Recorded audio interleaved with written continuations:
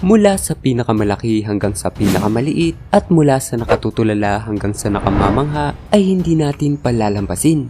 Dahil sa video na ito ay pag-uusapan natin ang mga hindi pangkaraniwang tao o di kaya naman yung may mga kakaibang talento. Sabay-sabay natin kilalanin ang sampung tao na bibida sa ating kwento. Isa na namang kakaibang episode ang ating pagsasaluhan dito lang sa iWant TV. Number 10. Kim Goodman Pasok sa unang listahan si Kim Goodman na nagmula sa Chicago at siguradong mapapaluwa ang mata mo dahil sa kanyang hindi pangkaraniwang kakayahan. Pasok siya sa Guinness World Record at kasalukuyang may hawak ng titulong farthest eyeball protrusion o yung pagluwa ng mata. Nagagawa niya itong palabasin mula sa sakit at may sukat itong 12mm o 0.47 inches. Ayon sa kanya ay nadiskubre niya ang ganitong talento nang minsan siyang tamaan ng hockey mask sa muka at nagtuloy-tuloy na nga ang kanyang kakaibang talento. Ikaw, may kakaiba ka bang talento? I-share mo naman yan sa ating comment section. At huwag kalimutan mag-subscribe sa ating YouTube channel. Number 9. Domingo Joaquim Kilalanin si Francisco Domingo Joaquim, isang 22 years old na nagmula sa Angola at kilala siya sa may pinakamaluwang na bunganga sa buong mundo. May sukat itong 6.69 inches o 17 cm na talaga namang napakaluwang nito. Sa katunayan ay kaya niyang ipasok ang mga bagay kagaya ng saucers, coffee cups at ang isang soda can sa loob ng kanyang bibig at may sobra pang ang space sa loob nito. Isipin mo na lang kung gaano kalaki ang isang soda can at mai-imagine mo na kung gaano nga ba kaluwang ang bibig nitong si Joaquim. Ang hindi pangkaraniwang talento na ito ay naitala rin sa Guinness Book of Records sa Rome, Italy noong March 18, 2010 at patuloy siyang umani ng atensyon dahil sa kanyang kakayahan. Huwag kang bibitiw dahil marami pang nakamamanghang kwento ang susunod sa ating listahan. Number 8. Kati Jung kung inaakala mo na distorted picture ang iyong nakikita ay nagkakamali ka. Siya si Cathy Jung isang 70 years old at kilala sa pagkakaroon ng pinakamaliit na bewang na sumusukat ng 15 inches. At ayon sa kanya ay walang kahit anong operasyon na isinagawa kaya niya na-achieve ang ganitong vital statistic na 39, 15, and 39. Ayon pa sa kanya ay sa loob ng 25 years ay nagsusuot siya ng masisikip na corsets at inaalis lamang niya ito kapag maliligo. Limitado lang din ang kanyang pagkain upang mapanatili ang ganitong pangangatawan.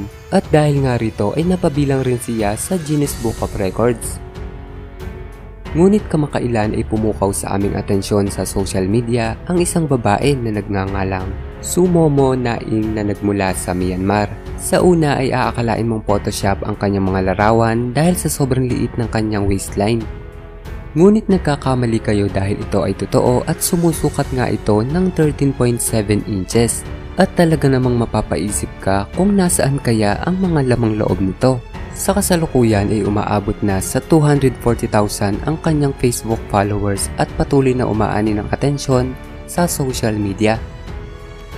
Number 7 Jonah Falcon. Ibang-iba naman ang armas na dala nitong si Jonah Falcon kaya siya napabilang sa ating listahan. Siya ang isa sa may pinakamalaking TikTok o armas sa buong mundo.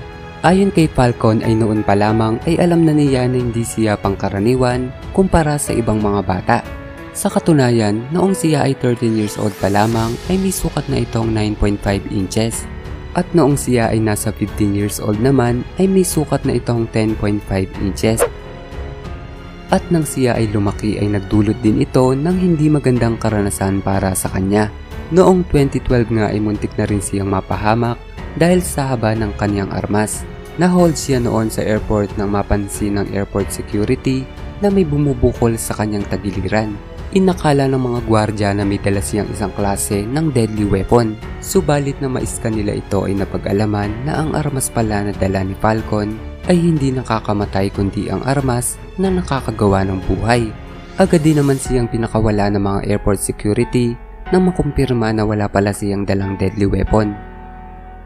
Number 6. Yu Jiangxia Karamihan sa atin ay naghahangad na mahahabang pilik mata Ngunit paano na lang kung umabot ng ganito kahaba ang pilik mata mo? Nasa ikapitong pwesto si Yu Jiangxia na nagmula sa Jiangsu province sa China. Hindi siya pangkaraniwan dahil sa pagkakaroon ng napakahabang pilikmata na umaabot sa 12.4 cm o 4.88 inches. Ayon sa kanya ay wala siyang kakaibang shampoo o kung ano man na ipinapahid sa kanyang pilikmata na maaari magresulta ng ganito kahaba.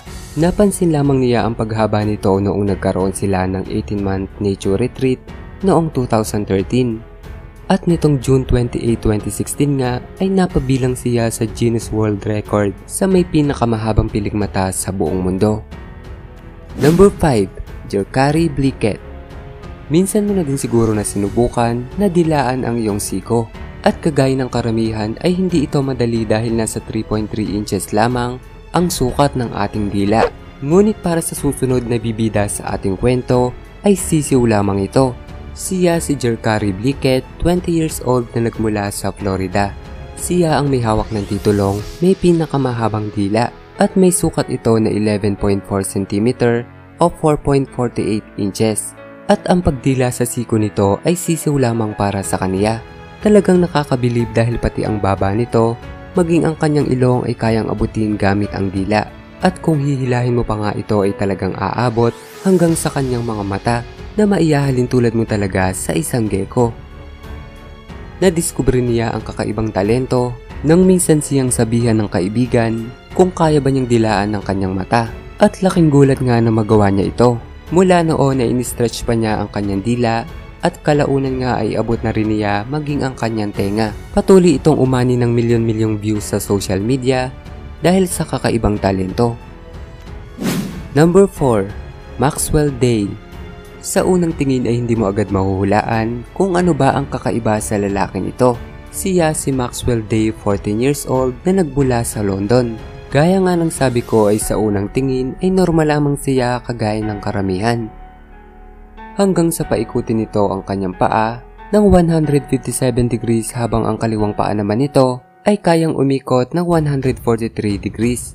Na-break nito ang record ni Moses Lanham na mayroon lamang 120 degrees ang pag-ikot ng kanyang mga paa. Ayon kay Maxwell ay normal sa kanya ang pagpapaikot ng kanyang paa at walang kahit anong sakit na nararamdaman. Sa kasalukuyan ay hawak niya ang titulo ng largest foot rotation. Number 3. Radakant Bajipay Sadyang marami talaga ang hindi pangkaraniwan dito sa ating mundo. Pasok din sa ating listahan itong si Radakant Bajipay na nagmula sa India. Hawak niya ang titulo ng may pinakamahabang buhok sa tainga. Noong una ay may sukat lamang ito na 13.2 cm. Ngunit pangarap talaga niya na masungkit ang titulo na ito kaya ginawa niya ang lahat.